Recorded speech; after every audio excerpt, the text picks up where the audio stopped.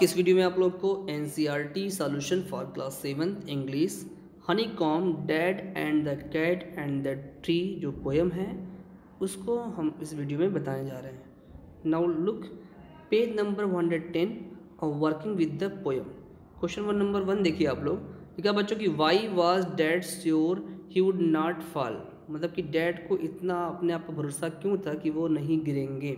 Solution the dad was sure he would not fall because he was a good climber क्योंकि वो क्या थे? वो एक गुड क्लाइंबर थे। क्वेश्चन नंबर टू देखिए आप लोग। Which phrase in the poem express that self confidence best answer right just leave it to me is as easy as winking to a climber like me like right just leave it to me easy as winking to a climber like me. Okay question third देखिए आपका। Describe plan A and its consequence describe plan A को करो इसको describe करो तो answer क्या बोलोगे आप लोग? According to a plan A father would have reach the tree top with the help of the ladder however the ladder slipped and father fell on the ground question fourth देखिए आप लोग कि plan C was success what went wrong with uh, wrong then?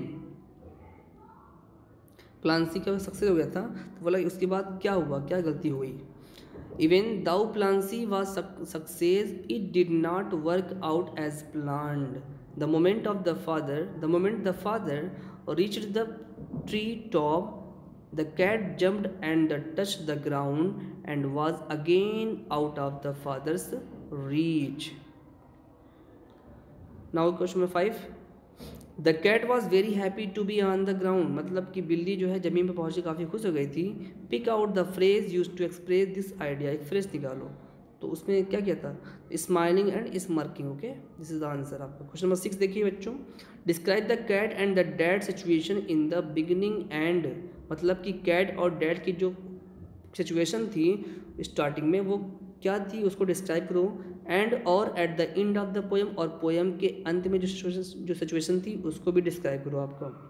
Answer at the onset the cat was stuck on the tree and father was confident to be able to drive it away okay by the time the poem ended the cat was free and the father got stuck in the tree इसका मतलब ये हुआ कि जब starting में क्या हुआ था कि बिल्ली जो है पेड़ पर फंसी हुई थी और फादर जो थे, उनको इतना कॉन्फिडेंट था कि वो बिल्ली को वहाँ से निकाल देंगे लेकिन जब पोएम के एंड में पहुँचा गया तो क्या मालूम पड़ता कि बिल्ली जो है, वहाँ से निकल कर फ्री हो गई थी, लेकिन डैड जो थे, वहाँ पर फंस गए थे पेड़ पर।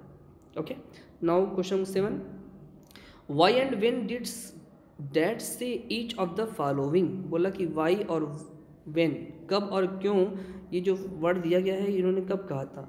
फ़र्स्ट क्या बताओ फॉल आपका है, नेवर माइंड है, फनी जोक है रबिश है। इन सारों वर्डों का इस्तेमाल उन्होंने कब किया था?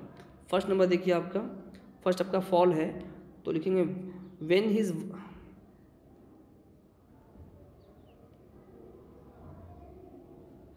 when his wife warn him against falling father with a great surprise said fall okay तब उन्होंने कहा था?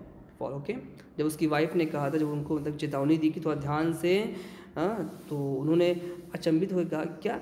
गिर जाऊँगा। तो ये तब उन्होंने यूज़ किया था फॉल के बारे में। नंबर टू लिखा बच्चों नेवर माइंड तो ये वर्ड कब यूज़ किया गया था? Having fallen to the ground जब वो ज़मीन पर गिर गए the father did not give up उन्होंने हिम्मत नहीं छो, छोड़ा। And brushing the dirt from his hair and cloth said का मतलब होता है। और अपने बाल पर और जो कपड़े पे जो गर्द जो मिट्टी लगी हुई थी उसको साफ़ करते हुए ये बात बोला कि never mind okay? Third point आपको बच्चों है यहाँ पर फनी जोक आपका है तो ये फनी जोक जो है इन्होंने कब कहा था?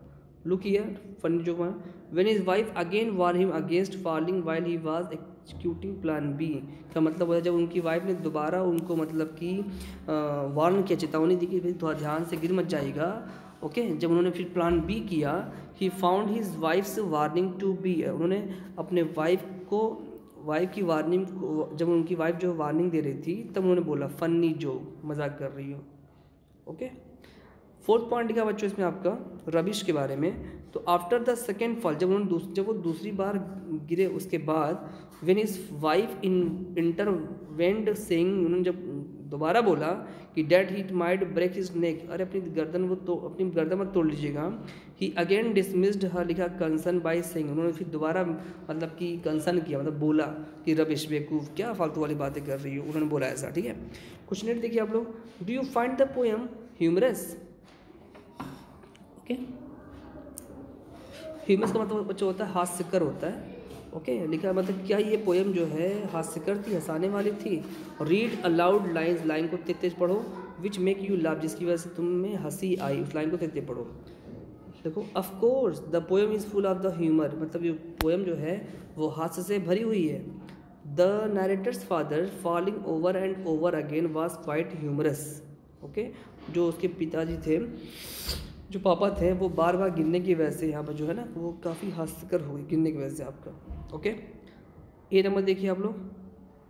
The cat gave a yell and sprang to the ground मतलब ये हुआ कि वो लाइन कौन कौन सी, जब मतलब कि जहाँ पर हँसी आई। कैट गेव एल जब कैट चीखी और ज़मीन पर कूद गई, तब वहाँ पर हँसी वाली थी। इट स्लिप या स्लिप खा गए थे he landed in the flower bed जब वो पेड़ से स्लिप खा गए थे और फ्लावर बेड में गिरे थे तो वो सारी लाइन दी होती है जो काफ़ी हासिल करती। है बच्चों, यहाँ पर देखिए, यहाँ पर यहाँ पर वेरी शॉर्ट टाइप जो क्वेश्चन है, यहाँ पर बुक में दिया नहीं है तो मैंने इस, यहाँ पर जो है कुछ क्वेश्चन अपने मन से बनाए हैं, जो क्वेश्चन को आपको अपने कॉपी पर मेंशन करना पड़ेगा और एग्ज़ाम में ये क्वेश्चन आपका ज़रूर आएगा ओके तो very short type short answer type question है, ये जो बुक में दिया नहीं है, मैंने इस क्वेश्चन को खुद बनाया ओके लुक ये क्वेश्चन वन देखिए आप लोग। How many time does the narrator's father try to climb the tree का मतलब ये होता है, कितनी बार नरेटर के जो फादर जो पिताजी थे, वो पेड़ पर चढ़ने की कोशिश किए ओके उन्होंने कैसे किया, उनके प्लान क्या थे? Answer the narrator father try to climb the tree thrice तीन बार कोशिश किए। टू डू सो उन्हें ऐसा किया क्योंकि he executive plan A plan B and plan C ये था आपका आंसर आपका। क्वेश्चन टू देखिए। State and adjective use to describe the tree. बोला कि एजेक्टिव बताओ, जिसकी वजह से ट्री को डिस्क्राइब किया था, वो कौन सा एजेक्टिव वर्ड आपका? है तो लिख पढ़े थे ना, वोबली के ना, वोबली? तो वोबली का मतलब क्या होता है? जर्जर खराब हालत में, बैड कंडीशन में, उसको बोलते हैं वोबली बोलते हैं। थर्ड देखिए, from where did the narrator father get the ladder? बोला कि पिताजी जो है, उनको सीढ़ी कहाँ से मिली? Answer. The narrator father got the ladder from the garden shed garden shed से मिली आपका ओके क्वेश्चन फोर देखिए why did plan B fail बोला कि प्लान बी जो था, वो फेल क्यों हो गया? Father swung himself on a branch मतलब फादर जो है पेड़ पर जो है, पेड़ की शाखा पर लटक गए थे। एंड द ब्रांच ब्रोक और जो शाखा थी, जो डाली थी, वो टूट गई थी। दस द प्लान बी फेल्ड तब का जो प्लान बी का हो गया फेल हो गया आपका। अगर वो डाली टूटती नहीं तो प्लान बी क्या होता? सक्सेस हो जाता ओके और बच्चों, कुछ क्वेश्चन मैंने ये भी बनाया जो शार्ट टाइप आप क्वेश्चन आपका है, वो देखिए आप लोग। क्वेश्चन वन देखिए आपका describe the tone in which the narrator's father dismiss the his wife's warning every single time उस टोन को बताओ, जब उसके पिताजी अपने वाइफ को जो है, जब वार्निंग कर रही थी तो उसमें यूज़ कर रहे थे टोन को। When his wife warn him the first time father was really astonished he thought how a good climber like him could fall The second time his wife warned him, he laughed at her, finding her warning to be a funny joke. Okay. Question 2 देखिए Discuss plan A, plan B, plan C and reason for their respective failures. According to plan A, father would have reached the tree top with the help of the ladder. However, the ladder slipped and father fell on the ground. Okay. Now question round. उसके बाद then Tabi he thought of a plan B. He swung himself on the on the branch, but the branch broke and father again fell on the ground. Finally, he thought of plan C. He thought of climbing the garden wall. However, even that did not work as planned. The moment of the father reached the tree top, the cat jumped and touched the ground and was again out of the father's reach. It is the answer. Okay. तो आपको video कैसे लगी? Video अच्छी लगी तो like करें share करें comment करें। और जिन लोगों ने मेरे चैनल को सब्सक्राइब नहीं किया है, वो सब्सक्राइब कर लें। मिलते हैं नेक्स्ट वीडियो में। Thank you